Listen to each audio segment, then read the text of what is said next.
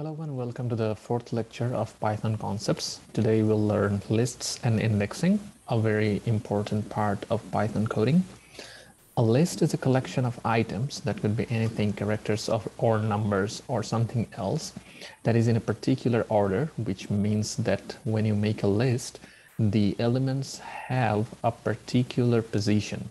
Or in other words, in Python terminology, they all have uh, each of them has an index. For example, uh, when we define an array or a list called my array, it has four elements here, 0, 1, 22, and 33. So it has four positions, first position, second position, third position, and fourth position. But in Python, the indexing starts at zero. So the first element is at index zero. Then the second element is at index one, and so on and so forth. And here I have another list called dogs. Here I have two kinds of dogs in my list. One is retriever, another one is husky. When your items have characters, you have to put them in a single quote. And then when we are printing my array, it's showing 0, 1, 22, and, and 33. And when I'm printing the dogs, it's printing retriever and husky. Now, if I want to access my array and I, I would like to access with the index position. So if I uh, access it by position zero, my array zero would be the first position of the, the first index of the list. So it will show zero. On the other hand, if I would like to access the third element, it will be index zero, index one, and index two. So I would have to access the index 2 and it will show 22. And that's how we can access the elements of an array by the indexing. And also we can uh, use the characters. Uh, for example, if we would like to print my first dog was a retriever or a husky, we can actually first print this portion, a string, and then we can access the index of my dogs list. For example, I'm accessing dogs zero, that is the first element that is a retriever. So it's showing the dog is a retriever. If I if I were to access the second element, it would see uh, it would show it would show a husky. And also we can actually modify the elements of a list by indexing. For example, first I'm printing my array. So it's showing 0, 1, 22, and 33. But if I access the third index, that is the fourth element, and make it 222 instead of 33, and then print it again, then I will see that the fourth element, that is the third index, has been changed. From 33, it has become 222. That's how I can change a particular element by accessing a particular index. And also we can apply several methods on a list, like we can add an element, we can delete an element, or we can modify elements. For example, I have a collection of my toys, like I have dog, I have a cat, I have a bunny, and then I have printed my collection. It's showing dog, cat, and bunny.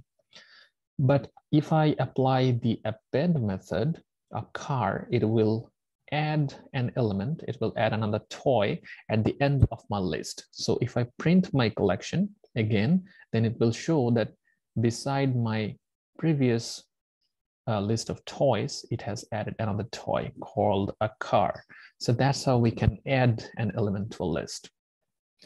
And we can also, uh, we don't have to just add to the end of my list, we can add it anywhere.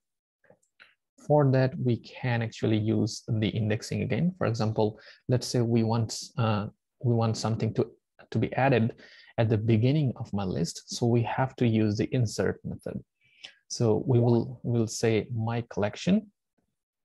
We'll say my collection dot insert and the index and what whatever I would like to insert. For example, let's say at the beginning, I would like to insert a bike. So I will say dot insert zero. That means at zero index, that is at the first position, I'd like to insert bike. Then uh, when I have printed my collection again, it will show that at the first position, there is a bike we can also uh, use anything else. For example, let's say in the second position, I'd like to use a ball. And then if we print, it will show that at the second position, there is a ball. And we can also delete anything by indexing. Uh, so we have to use the del function. And from the uh, after the del keyword, we will use my collection at one index. So from the second position, uh, it will have uh, it will have been deleted. So the second position is the ball. So after printing, it will show that the second position, the ball is no longer here. So we will see only bike, cat, bunny, and car. And also there is a very popular method called the pop method uh, to delete elements from a list. So for that, we'll use, uh, let's say I have three scores, 10, 20, and 30. And let's say I have printed my scores, 10, 20, and 30. And if I use the pop method, my scores dot pop, then it will just pop the last element from my list. So if I, after applying the pop method, if I use the print my scores again, it will show only the first two elements and the last one will be popped. And also we can pop any element as we, as we want. For example, if we access the first element and use the pop method on it, then it will pop that particular element. For example, now after popping the last element, I have these scores in my hand, 10 and 20. If I use my scores dot pop, at index zero, that is the first position, it will pop out this first element. And after I print my scores, it will show only 20. And also we can uh, access the elements by value. Let's say I have three scores uh, called my scores, a list, uh, which has elements good, very good, and bad. So if I uh, print my scores, it will show good, very good, and bad. But let's say I want to remove the bad element and I would like to only show the good and very good. So I will use the dot remove method. So my scores dot remove bad. So I'm accessing this particular element bad. So it will show then if I print my scores again, it will show only good and very good, and it will remove this particular bad element. In a similar way, we can remove the any other uh, element I want.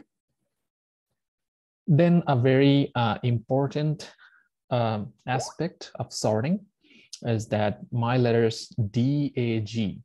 Uh, sorting is uh, organizing the elements of a list in a particular order. So here you can say that there is no order in these elements. But if I use dot sort method on this uh, particular list of elements, it will actually alphabetically sort them. For example, uh, at first, my letters uh, would show the original list, D, A, G, but after I use the sort method, it will actually sort them alphabetically, A, D, and J. And a very important and uh, popular method is reverse, uh, just to uh, reverse the orders of the elements in a list. So let's say I have print my letters. Uh, we have J, D, A, and if I use dot reverse method on it, then it will actually reverse the order of the elements. So the A will be at the first position, D will remain at the second position, and J will be at the last position. So if you want to uh, reverse the order of your elements, uh, you can use this reverse method.